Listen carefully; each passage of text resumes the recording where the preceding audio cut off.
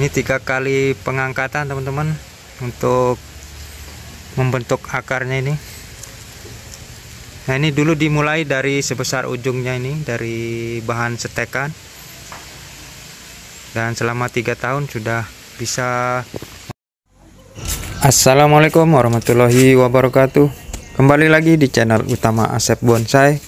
Untuk teman-teman semua di mana pun anda berada semoga sehat selalu tetap semangat tetap berkarya dan tetap berpikir positif.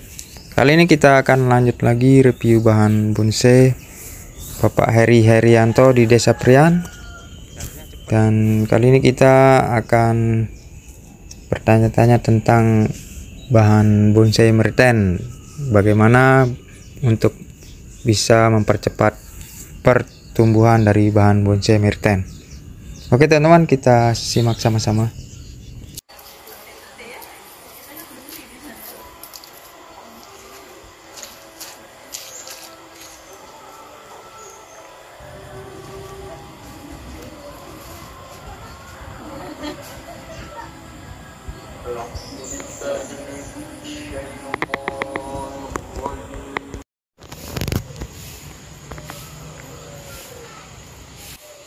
Seng Simur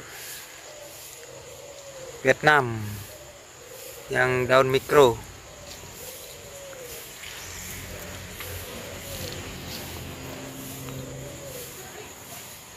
Lumayan. Nah satu genggam. Besar batangnya. Ini subur sekali teman-teman. Masih dibiarkan liar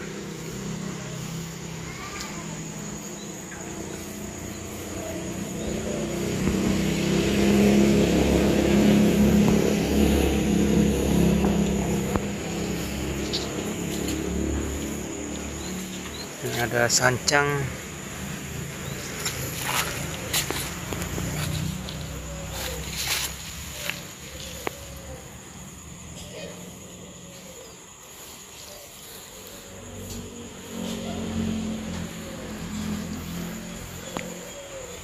Kemuning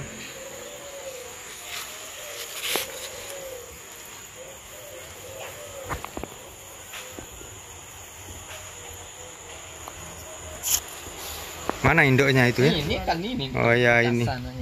Tempat ini induknya jadi mahkotanya yang di sini dipotong. Hasilnya seperti ini teman-teman. Nah ini. Ini mahkotanya ini yang dipotong. Sekarang sudah berhasil diprogram. Keren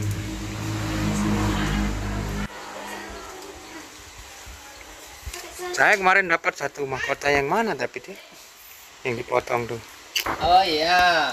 Kan- yang waktu motong di sana Ah. di belakang kecil Kalau yang sayang dengan itu ya ada itu di bawah dia kan. bawahnya ya Kan itu di printer back. Hmm. Udah bagus. Tetap. Yang satu yang miring, yang miring.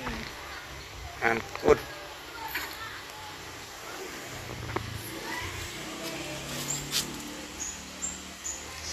sancang Ini yang kita sama-sama potong itu sengaja yang di bawah ini? Kita sama-sama sepotong dulu ini.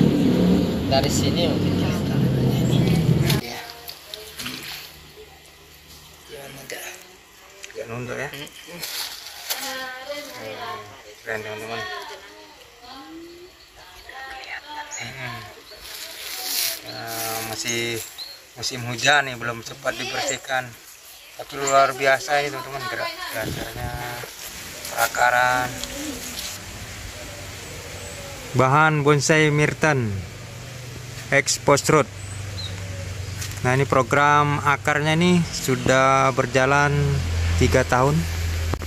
Ini tiga kali pengangkatan teman-teman untuk membentuk akarnya ini nah ini dulu dimulai dari sebesar ujungnya ini dari bahan setekan.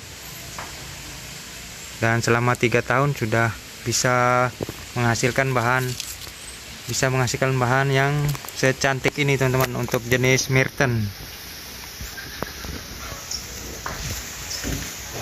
nah ini perakarannya sangat keren sekali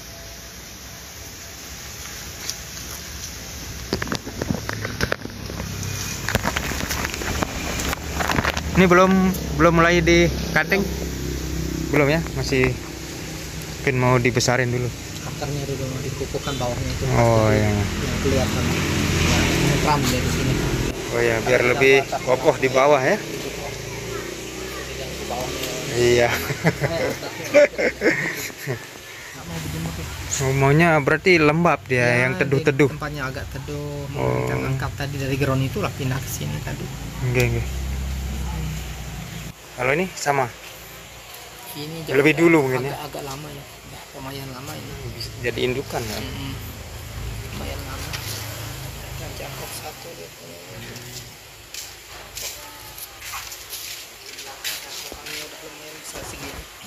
Tapi tempat. Nah, jadi Mirten ini teman-teman biar cepat perkembangannya cepat besar, dia harus ditempatkan di tempat yang teduh. Jadi berbeda dengan bahan bonsai yang lain yang pada umumnya harus eh, di tempat yang full sinar matahari. Tapi untuk Mirten itu lebih senang di atau lebih cocok di tempat yang dingin atau teduh. Baru pertumbuhannya bisa cepat. Contohnya Mirten yang disimpan di tempat yang sangat teduh. Nah, di bawah pohon ini nah ini daunnya. mengkilat dan tebal hijau tua menandakan menandakan kesuburan dari pohonnya. Tapi intinya Mirten ini senang di tempat yang teduh. Kalau untuk mempercepat pembesarannya.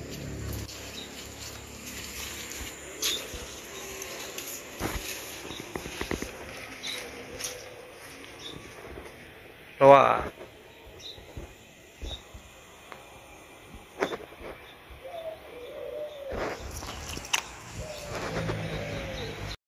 Luar biasa kadakan.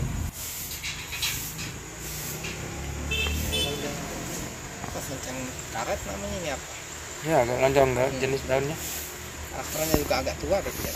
Iya, Keras iya ya. Hmm. Karakternya ini beda. Karakternya beda Hmm. dia. Cepat dia dapat cahaya aja ini. Udah lumayan besar enggak enggak kelihatan. Ya,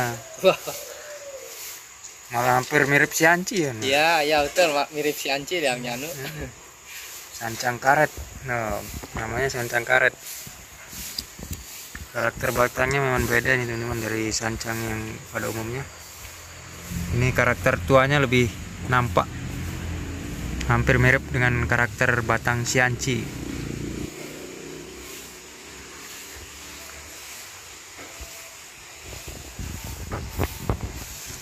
Berbeda dengan yang sancang yang biasa ini agak mulus. Nah nih ada loa. Loanya keren-keren teman-teman. Dari tadi ini kita lihat bahan loanya. Wih, unik. Luar biasa. Harap bisa tumbuh di sini. Diharapin di sana.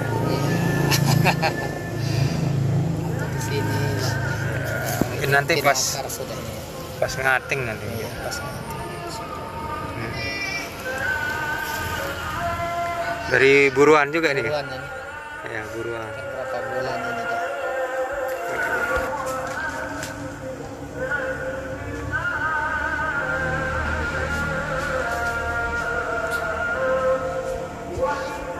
Hmm, sudah terlihat teman-teman susunannya tinggal mencari kepadatan Bahan paling ribet. ini Iya. oh ini yang jenis daun kecil ini iya. ini ini lumayan lama ini kan untuk pembesarannya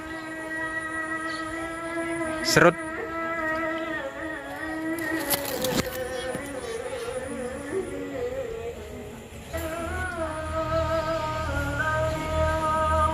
keren teman-teman. Serut.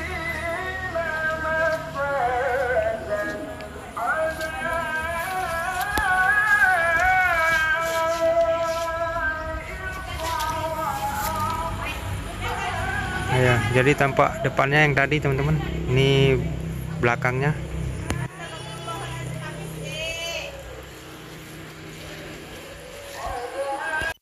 Sekian dulu kegiatan kita hari ini semoga bermanfaat tetap semangat tetap berkarya dan tetap berpikir positif. Wassalamualaikum warahmatullahi wabarakatuh